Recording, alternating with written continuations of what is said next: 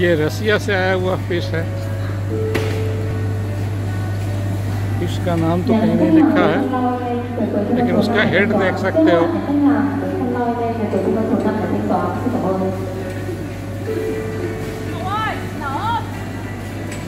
ये मिस्टर मुई हैं, जो मछली देख रहे हैं।